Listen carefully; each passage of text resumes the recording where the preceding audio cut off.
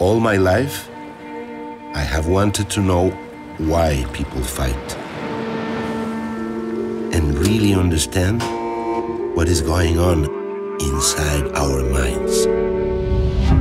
The first time I saw the raft, I was excited and a little frightened.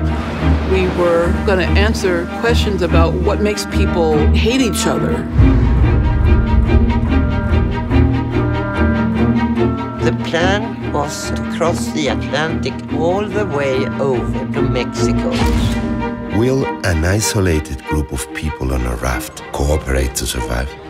Or will the situation create conflicts and make them fight against each other? This is like home again. This is the raw data that he's compiled into graphs. We were the guinea pigs. We became like a very tight tribe. It was some of the best things that happened to me to let my heart beat for them. It was like we were astronauts being launched into space. How often do you masturbate? I don't count. With whom have you had sexual contact? Many, many. Everybody.